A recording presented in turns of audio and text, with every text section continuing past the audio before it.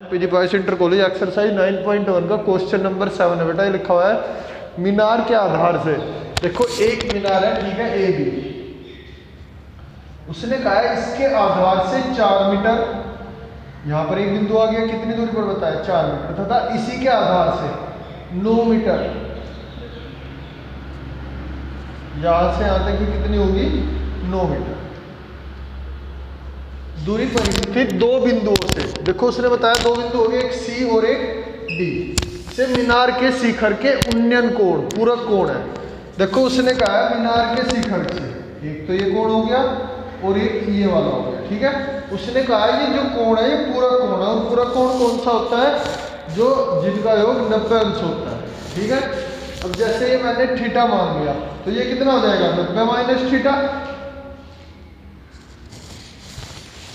सिद्ध करो कि मीनार की ऊंचाई 6 मीटर है। देखो, सिद्ध करना है तो मान लिया इसकी ऊंचाई एच है। ठीक है? माना ए बी एक मीनार है, जिसकी ऊंचाई एच मीटर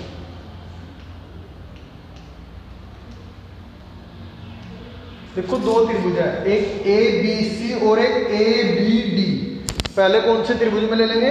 त्रिभुज ए, बी, सी में। देखो, लंब हो गया एच आधार हो गया चार। लंब बटे आधार बराबर टेन थीटा एच बटे चार बराबर टेन थीटा या एच का मान कितना जाएगा ऐसे? चार टेन थीटा समीकरण फ़र्स्ट अब देखो, ऐसे भी बताया कौन सी त्रिभुज है? ए बी डी दूसरी कौन सी त्रिभुज है? त्रिभुज ए बी डी में। लंब तो वही है एच अब देखो ए बी डी तो आधार कौन सा हो गया इसका? बी डी और बी डी कितने मीटर है? नौ मीटर? लंब बटे आधार बराबर टेन क्या कौन बना हुआ है? रखना नब्बे माइनस थीटा। एच बट्टे नौ बराबर नब्बे माइनस थीटा किसके हो जाएगा? Cot theta. या एच बराबर आ गया नौ कोट थीटा। समीकरण सेकंड देखो, इसमें भी एच का ही मान है और इसमें भी। तो क्या करेंगे? समीकरण फ़र्स्ट व सेकंड की गुणा करने पर।